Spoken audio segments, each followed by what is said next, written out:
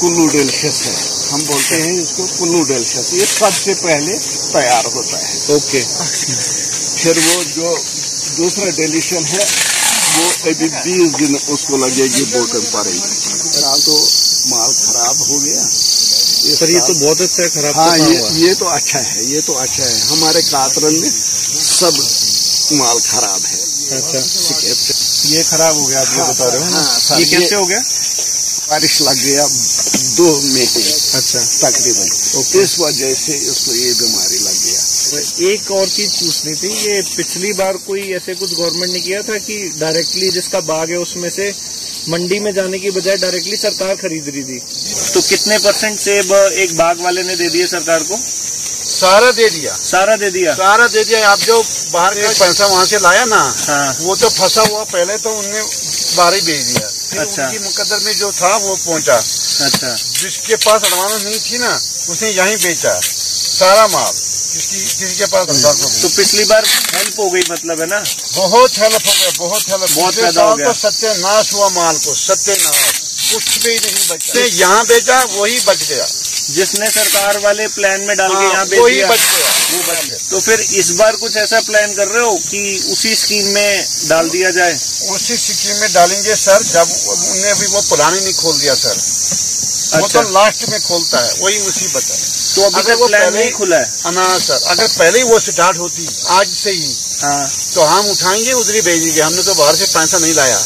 तो कितना फ़र्क है रेट का? जो बहुत सरकार दे फ़र्क रही है। है बहुत फ़र्क है। और अगर बीच में सरकार वाला ओपन हो गया तो फिर भेजेंगे।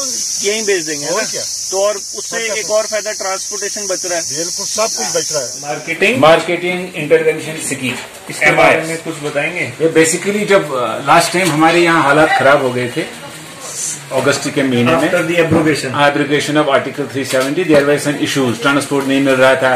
ग्रोवर उसके पास एप्पल था लेकिन बाहर जाने का रास्ता नहीं था। ओके तो government has come up with an innovative idea उसमें क्या था? ग्रोवर को बताया गया था कि आपको घबराने की ज़रूरत नहीं है आपको ट्रांसपोर्ट भी मिलेगा आपका बैर भी मिलेगा ही आपको बाहर जाने की ज़रूरत नहीं है। ओके तो उसमें क्या है? गवर्नमेंट ऑफ़ इंडिया की एक कॉर्पोरेशन है national agriculture marketing federation NAFED NAFED NAFED है it's a big very big prestigious corporation government of India की है. They have come as an angel to the growers in this sense grower के पास तो माल पड़ा हुआ था लेकिन उठाने वाला of the state where this scheme was first launch good very good है ना? ये स्कीम हमने 16 सितंबर को स्टार्ट की। 16 सितंबर 2019 बिल्कुल 20 को हमने स्टार्ट की थी ये स्कीम उसमें क्या था? ग्रोवर्स को बहुत रिलैक्शन दी गई। ओके ग्रोवर को कुछ नहीं करना था उसको गुड्स जितने भी थे वो लेके यहाँ आते थे। यहाँ मतलब अब बटेंगो बट्टेंगो मंडी। उनका रजिस्ट्रेशन होती थी उनकी सेल होती थी दो दिन के बाद उसके अकाउंट में पैसा डीबीटी और डायरेक्ट बेनिफिट था जिसका आधार था ओके जिसका हॉर्टिकल्चर पासबुक था जिसका जेके बैंक में अकाउंट है किसी और नेशनलाइज बैंक में उसी को ये पैसे मिलते थे on the basis of the production certificate given by the horticulture department okay ये ग्रोवर है कि नहीं? फिर उसमें गवर्नमेंट ने एक कमेटी बनाई। उसको उसकी जो एप्पल था उसको ग्रेडिंग करते थे। A grade B grade C grade. A grade को ए ग्रेड मिलता था fifty six rupees B grade को चालीस रुपए मिलता था और सी ग्रेड को पच्चीस रुपए मिलता this you are talking per KG per KG per KG ये मंडी है यहाँ बेसिकली हमारे डिस्ट्रिक्ट ऑफ़िस है यहाँ। हमने पहला सेंटर बटेंगो में ही बनाया। पहला फिर दूसरा सेंटर बनाया। बनाया कुलगाम में। अच्छा। तीसरा सेंटर शोपियान में। चौथा सेंटर श्रीनगर में।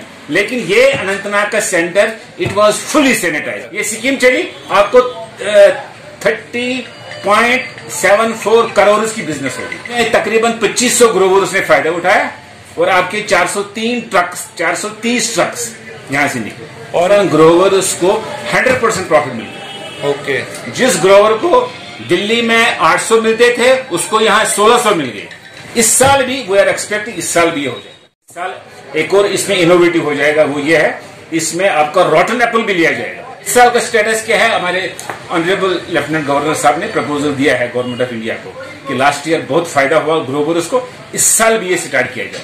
तो अभी तक उसका अप्रूवल अप्रूवल नहीं आ गया बट वी आर होपफुल तो likely time frame in this month only सितंबर में it has to start it has to start अगर एक ग्रोवर है अगर उसका सेब पहले सितंबर में उसने यहाँ लाके बेचना है फिर अक्टूबर में फिर नवंबर में हाँ। अगर उसको हर तीन महीने में सेब लाके बेचना है उसका कोई ऐसे कैप तो नहीं है कि इतना ही बेच सकता है? उसका बेसिकली वही है ना पासबुक हॉर्टिकल्चर पासबुक उसमें देखते हैं इसकी कैपेसिटी कितनी है? तो तो पचास परसेंट लेते हैं। और लास्ट ईयर आपने पूरा लिया था कि फिफ्टी पचास सिक्सटी सेवेंटी की नई स्कीम थी। लास्ट ईयर हमने कोशिश किया फुल ले ले। और यहाँ बटेंगो मंडी में आसपास के कितने विलेजेस के आ जाते हैं लोग? इसमें बेसिकली क्या है अनंतनाग डिस्ट्रिक्ट जितने हैं ना हाँ। पूरा डिस्ट्रिक्ट हम कहते हैं। Anantnag was a leader Anantnag में आपको तकरीबन ये बताऊँ थर्टी पॉइंट सेवेंटी करोड़ का बिज़नेस हमने किया है और इतना बिज़नेस किसी ने किया है में और ये जो अभी ट्रक्स होंगे ये ट्रक्स कौन हायर करता है? द डिपार्टमेंट इटसेल्फ जैसे आपको ओला है ना ओला हाँ। ओला क्या फ़ोन करते हैं ना ओला आ जाता है। इसी तरह ट्रक के लिए भी हमारा एक एप्लीकेशन है।